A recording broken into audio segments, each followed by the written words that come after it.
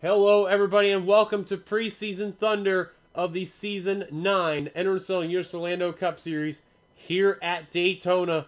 We had a bit of a crazy, crazy first session in the uh, off season that's going around, and of course, this is the final video, possibly being uploaded in 2020. So we have 18 drivers that are here for this one, just like the first session. James Qualls, fastest in uh, the preseason Thunder session one. So let's get on down to the track and get someone who uh, was already out there. We start off with JT Bryant. JT gonna be a driver that's gonna be the one to keep an eye on for sure. Second slowest, however, in the Thunder session. Definitely did not have the speed going on. He, he ran with the with the fastest lap of a 46.165. Really wasn't doing a whole lot there in that FedEx Toyota, but he will definitely be one to keep an eye on this season for sure. Fan favorite, no doubt about it. So we shall see what happens to him in that FedEx 22. So see here. Zach Flickinger making his return to the series, of course. The first session that he had, speed was rather okay for the time being, and then he pulled a fast one out of nowhere and finished third in the in the first session. So that Axalta Dodge going to be one of three drivers that will be fan favorites to try to win the Daytona 500. Actually, one of five favorites to win. Remember, him, Angel Navarro, James Qualls, and both of the S3 Motorsports cars of James Ellison and Kyle Matthews.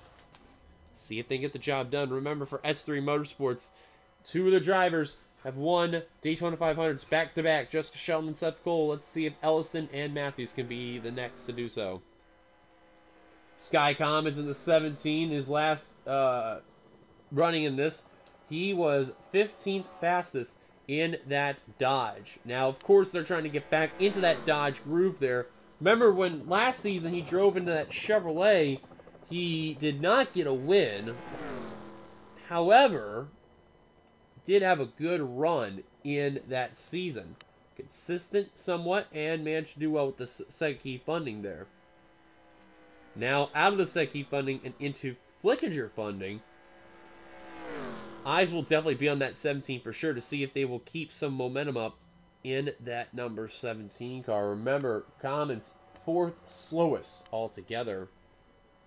Nathan Hudson in the 8, who was 11th fastest. So he was in the bottom 9 category. That 8 car was actually so, showing some pretty good speed, but then the draft laps really started to kick in and that 8 car was just starting to lose momentum on the running order there. Now, the funny thing with Hudson is that him and Flickinger have raced for some time. And of course, now that they're teammates for this season, you know, main question with Hudson is, you know, being away for a season, will he get some uh, momentum? Will he get some rust? We shall see what happens in that Axalta uh, Nintendo Switch Dodge there. Can't wait to see him when he's going to run those Nintendo Switch games. So I'm looking forward to see how that's going to go. Angel Navarro in that 42. In that Rudy's Barbecue Toyota. She is definitely going to be one to uh, have eyes appeal on because she was the slowest in all of preseason Thunder of session one here. Now remember, preseason Thunder for this season is only two sessions, so a lot could happen. Anything as goes. But Navarro, she's got a lot on her plate here. Of course, coming back to the series, taking the 42, putting it as a Toyota. Now, there's one thing that you can easily say is that Archangel definitely has one of the stronger teams. They know how to win in their cars. Look in the last couple of years and all the drivers that managed to win in those machines. Just to name a few, Scott Roush, Jeff James, Angel Navarro, Amber Ross, Tim Fiegel, Eric Burton. You know, all those drivers I mentioned, they have won in those cars. Now Navarro trying to see if they can get back into it, but you know deep down what they got their sights set on. We mentioned before with Flickinger, she really wants this 500 win bad. She's managed to win the other Triple Crown races of the Brickyard 400. Actually, funny enough how both um, Navarro and Ross, they both have actually won back-to-back -back Brickyard 400s, might I add. So, that is something that's going to be uh, worth an eye to keep an eye on because that'll be another racetrack that they have got their eyes set on. See if they can go for a three-peat. maybe they can do it in their other team car there. Brett Pritchard in the 54, second fastest last session. He had a really good car in that one there. Was drafting with Qualls throughout the majority of preseason Thunder of that session.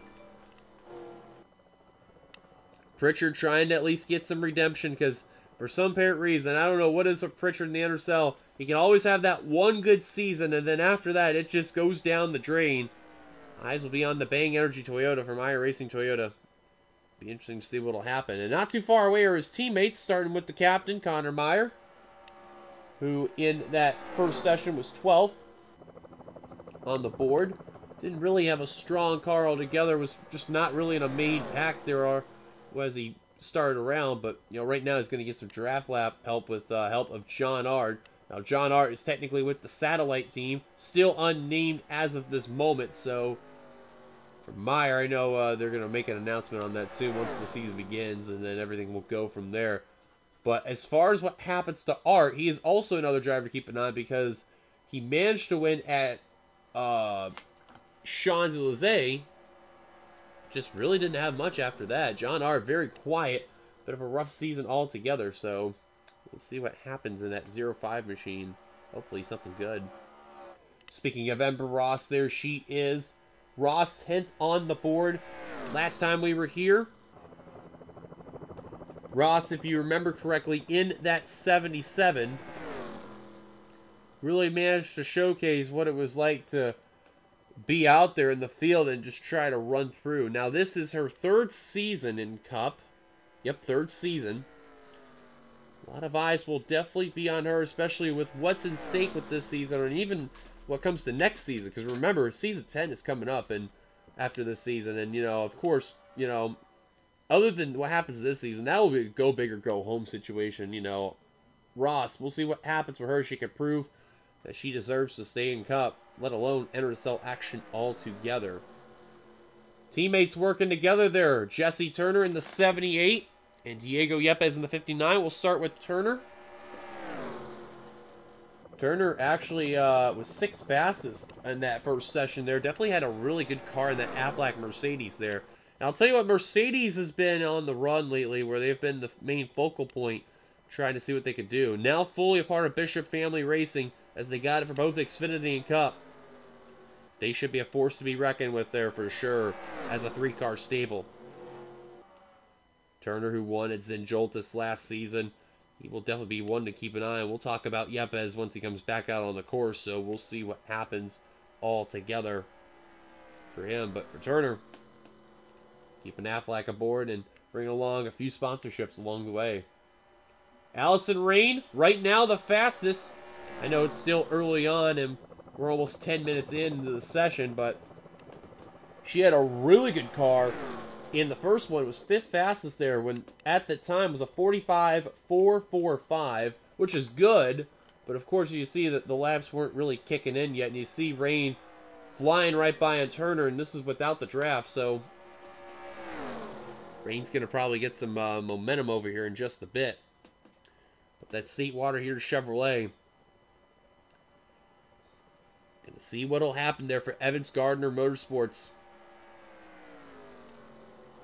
I know for one thing for a fact with Rain is the fact that she's definitely going to be a driver that will host a new number. So for some periods, Evans Gardner likes to bring in all the new numbers in international competition. I think they're watching my videos and checking in on the documentaries of like what number hasn't hasn't been used yet. So bravo, thanks.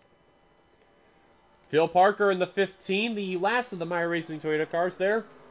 When he was in that session, he was 13th. He was the slowest of the four of the Meyer Racing Toyota camp in that nationwide Toyota.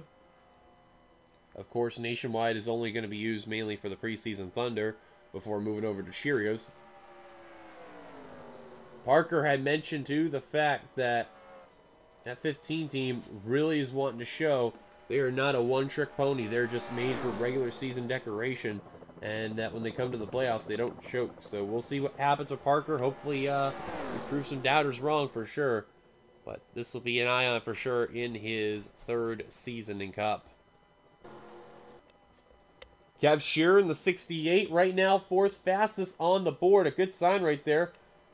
Uh, Kev, as I'm looking through here, was ninth fastest in the first session a couple months ago. Right now, fourth. Showing actually a faster lap time now than was before, and he's gonna get. An, they're gonna get an extra driver with R.J. Bishop as Flickinger is leading the way there. So we'll see what happens with Kev. Of course, moving over from the double zero who took a win at Open Roads that season was a great win altogether. See what happens at 68 team. And there's your champion, James Qualls in the 70. Still hard enough to believe you could put the words James Qualls and champion together. It doesn't feel like it there, but that 70 team is going to be uh, one to watch hands down in that all-white 70 there right now. Six fastest on the board. Still... Uh, Actually, he is actually running a faster lap now than he was uh, in the first session because the fastest lap that he ran in the first one was a 45.330 and right now his best lap is a 45.173 so the speeds have definitely increased. We're going to put the ticker up right now. And uh, we'll see what happens at Qualls. Right now, Rain still out in front with a 44.915, just the fastest overall in the session. Wow, that car's cruising.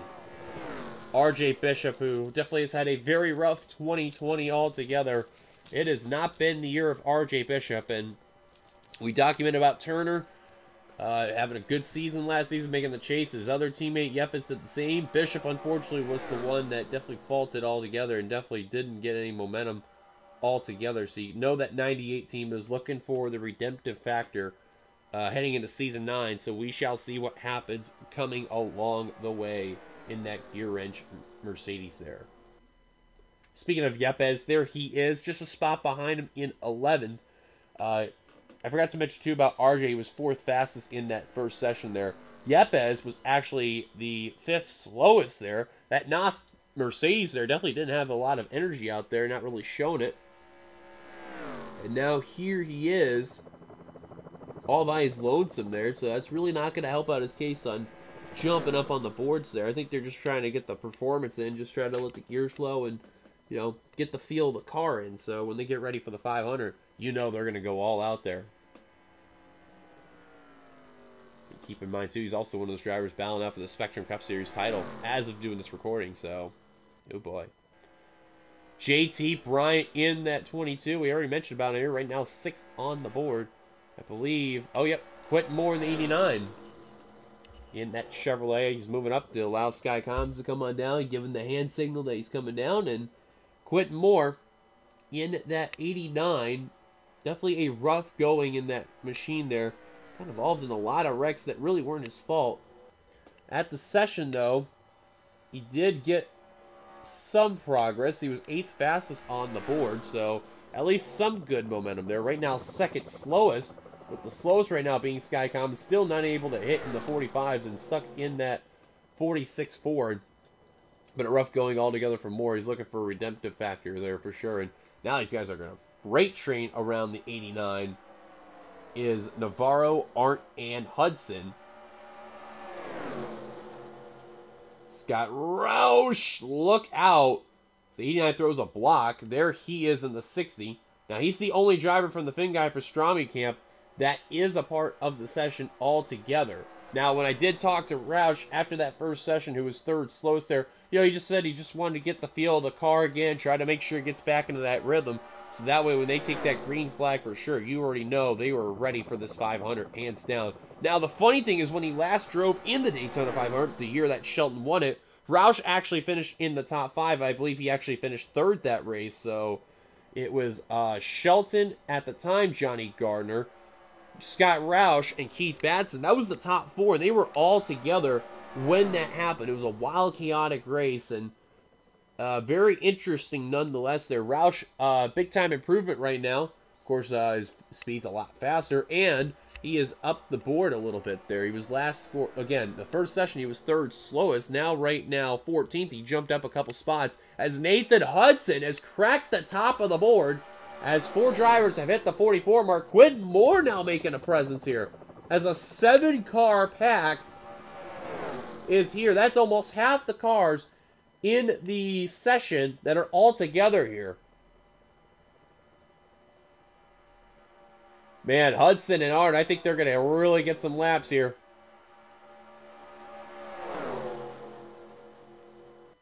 Well, Maze JT Bryant hasn't really got some momentum there in that 22. And one driver coming down pit road. That's Art in the, or not Art, I'm sorry, Brett Pritchard in the 54. Hudson, you seen it there, folks. A 44.873. That's a lap right there. Wow, flying by even with the draft. Now we have documented on everyone here, of course, because, you know, that's just how it is. It's not really a big field, but mainly some drivers just trying to get in the back of the field, the cars there. Now, we mentioned about that six-car pack earlier. There's a three-car pack with R.J. Bishop, Kev Shear, and Zach Flickinger. Remember, Navarro was the slowest in the first session. Let's see if uh, we can find her as... There she is again, as Moore's coming down pit road. There she is. Right now, seven major improvements with that 42. I think you already knew that, you know, when that first run came around, you know, of course, you know, Navarro, just like Flickinger, just trying to get the rhythm back. Navarro definitely did not have it in the first session. Um, Zach Flickinger did in that first session there, and and somewhat for Nathan Hudson. Hudson, I can tell you, he's back, and you know the main competition that he has in store, ironic enough, is the car behind him. Have a little bit of a rivalry there, and uh, I guarantee that will be a fun battle to watch there. Hudson versus Navarro. Now, what sucks is that there's no short track, so Hudson is not able to uh, battle for his uh, uh, win that he had back in Iowa a couple seasons ago. Or actually, no, I'm sorry. There's a short track, and that's at Bristol Dirt.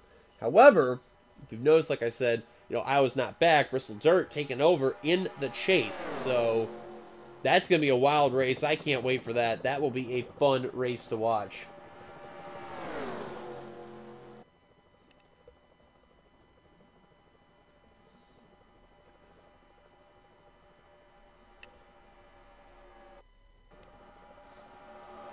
James Qualls, Sky Commons. Commons finally hitting the 45 mark. Still slow, so with the 45 4 2 1. So he is gaining the ground up of Kev Shear and Diego Yepes as they're approaching somewhat RJ Bishop, Zach Flickinger, and Connor Meyer.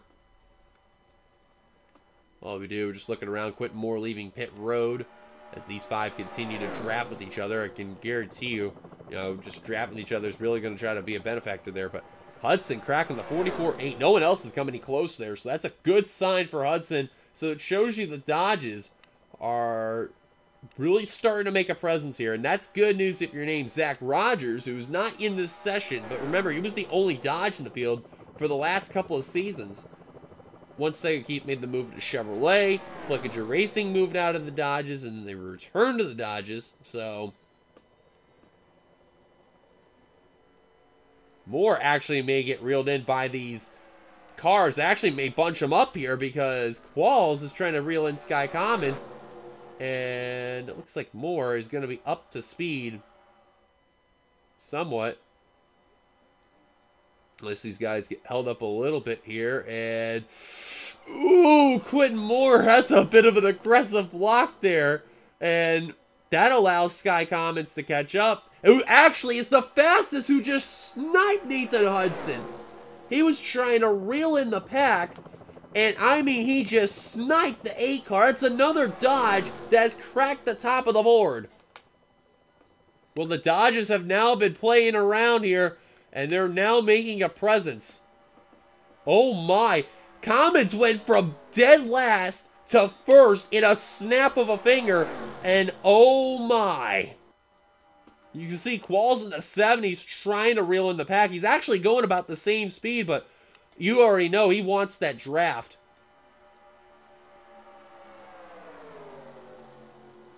Meyer should definitely get some uh, momentum there. No, still not faster. Well, he's kind of still in that bit of a sucker hole spot, which, you know, if you're in the outside line and you're really, like, in the traffic with dirty air, it's really not helping your case out there in that Mobil 1 Toyota. Holy Toledo. Where the heck did Commons come from in that lap? Folks, a 44.811, and only seven cars have hit that 44 mark. Two of them, or actually three of them rather, in the 44.8s. That is absolutely incredible to watch there. We're just keeping an eye on this pack here, because this could probably mean that we may see some changes on the board. 45, 340. Myers still slower. He actually only gained literally one thousandth of a second coming up on the board.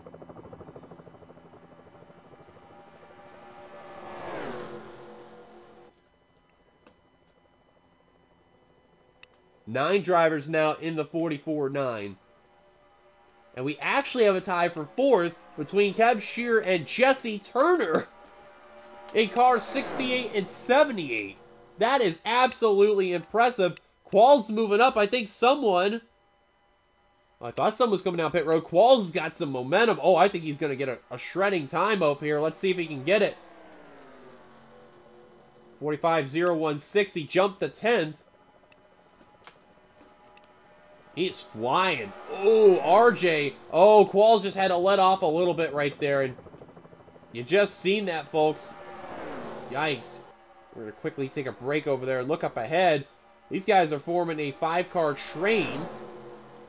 And leading them down is Allison Rain.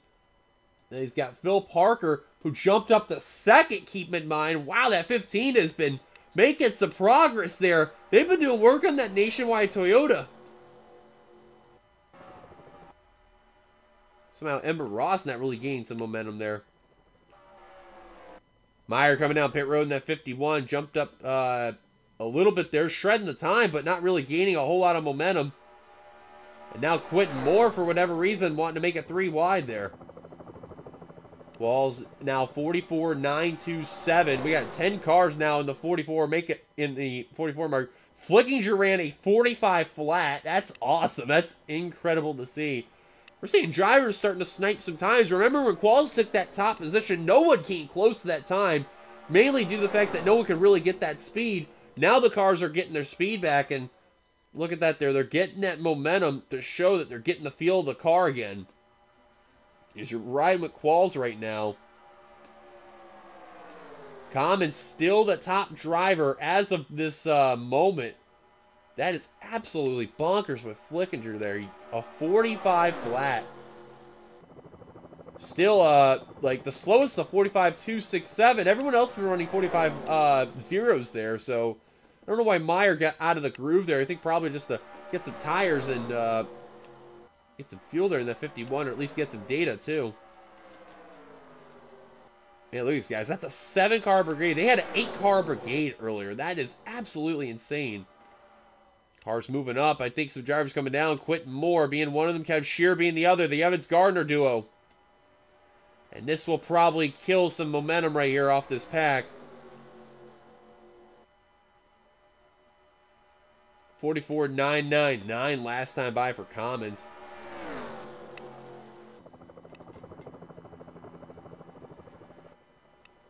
So now it's two five-car packs. Actually make a three five-car packs. Wow. And the others are all down pit road. That's unbelievable. I've never seen that before. Having three five-car packs of an 18-car field. Meyer trying to join these guys. That's not going to be the case. He may join Rain and this company here as Rain uh, jumped to 7 with the 44 899. Ember Ross has sniped the spot with a 44 798 in car 77. Wow, where's the 77? I think I passed. Oh, there she is. Wow, where did the world this come from? Oh, oh, that is unbelievable. Pritchard in the top 10. Well, folks, you're seeing some changes now. I mean, we are seeing some snipers coming around. Uh, we're getting closer to five minutes remaining in the session. This has been entertaining to watch, man, because just when you think it's over.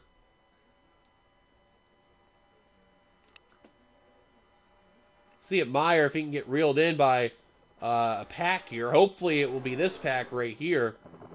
Oops. Or I'm sorry, um, this pack right here, because he's getting reeled in by Rain. and a few others. Now, it may take a lap or two to get the draft going if they actually let the 51 be a part of this group.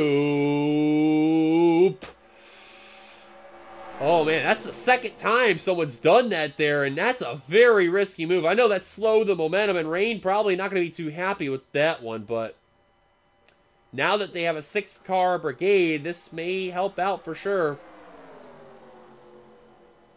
Now, if I were Meyer, I would let the 78 go around you and get that three wide out of the way. That way, when you're in the rear of the field, you get the. And, and Oh my goodness gracious! Look who just jumped up as I have been hardly paying attention. Scott Roush, Nathan Hudson, John Art, JT Bryant, and Angel Navarro out of nowhere has sniped the top spot with the 44-7-1-2.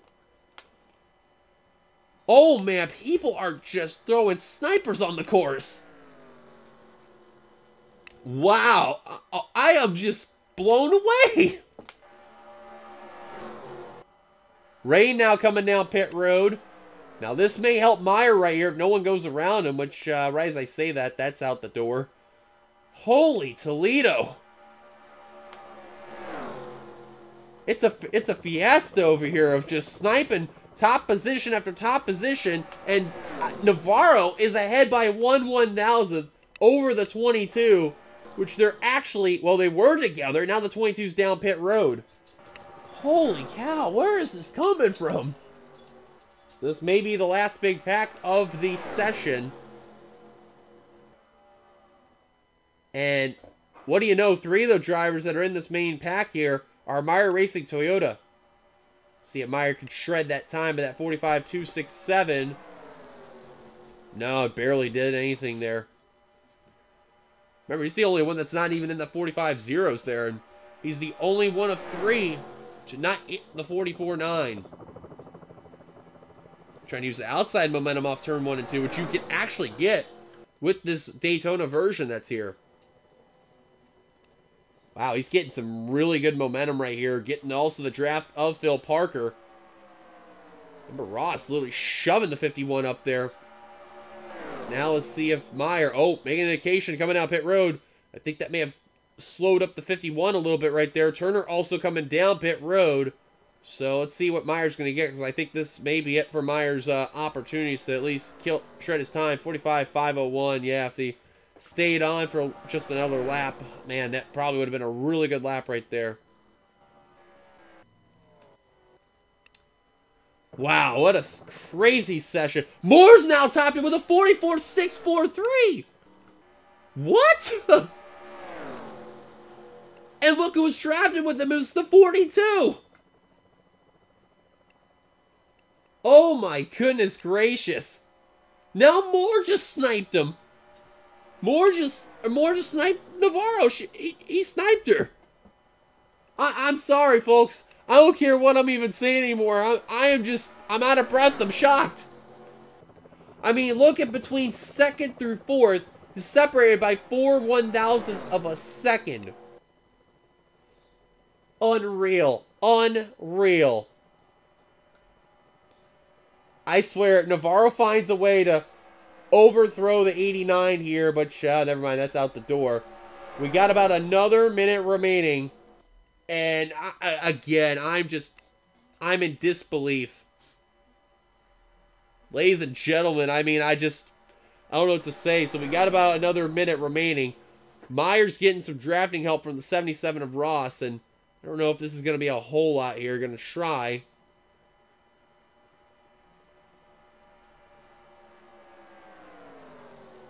Yeah, he's really not going to get a lot gained right there. So once the once that timer's going to expire, they're going to finish the lap that they're on. So we know for a fact Kev Shear is going to get at least one more lap. These guys should be able to get at least one more lap, and these guys have been entertaining there. And uh, you know, you got to give them some credit. Yeah, they definitely will right here, hands down. Uh, Turner, I know it probably won't be a whole lot there because he's just came back out on the course, but anything could happen. Nope, not going to be enough time. So that main pack is going to be the final uh, decision there. So eyes will be on this pack right here. Quid Moore, folks.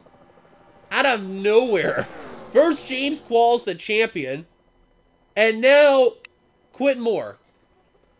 I don't even know where to begin here. I, I really don't even know. Speaking of uh, James Qualls, him and Kev Shear, really not going to be a whole lot much of a worry. They're across the line. They finished their lap. 47s on their end. And I don't think with the way how they're battling, there anything's going to really change. Navarro's going to try one last effort to see if she could do it. Nope, 45, 3, 4, 6. But there you have it, folks. Quinn Moore, fastest in second session of preseason Thunder. Wow. I am just in disbelief. I really am. What a crazy session this was. Only three drivers were in the 45s at that time. Everyone else, 44 onward. So now, as you look here, the biggest movers for sure, no doubt about it. Angel Navarro, hands down, went from last to second. That's impressive right there. Uh, Quentin Moore, another gain there. There gained uh, seven spots. Biggest loser was Zach Flickinger. Definitely took a drop, no doubt about it. JT Bryant, also big game for him. He was second slowest. Scott Roush, also with a gain. Hudson with a small gain. Ember Ross, a small gain as well. Sky Comets, a good gain right there. Uh, Jesse Turner, just a bit of a small loss, nothing too bad there. And Phil Parker had a decent gain. Allison Rain took a good drop right there in the 66. Pritchard definitely took a drop. Qualls definitely took a drop. Yepes uh, actually was the same. 14th fastest. Both sessions. RJ Bishop, he was definitely slower in this one. Well, not by, well, his timing was not slower, but you know, result wise. And Meyer also took a drop as well. Well, guys, that'll do it here at Daytona for the second and final edition of Preseason Thunder. If you've noticed on Discord, we'll be back in action in January, where we will have Daytona Speed Weeks, where we have Daytona 500 Pole Day that'll go on by. And then we will have the Budweiser Shootout as well, Gatorade Duels, and then the main event, which will be ARCA, Xfinity, and Cup. Until then, thank you guys for watching. Thank you guys also on a crazy 2020 year altogether. We will see you guys later in 2021 for NRSL action. Until then, this is your boy DeYoung signing off. We'll probably see you guys, hopefully, for Outback Xfinity reveal uh, later on as well as I'm doing this video. I hope uh, it'll be done. We'll see. Until then, goodbye, everybody, and we'll see you guys later.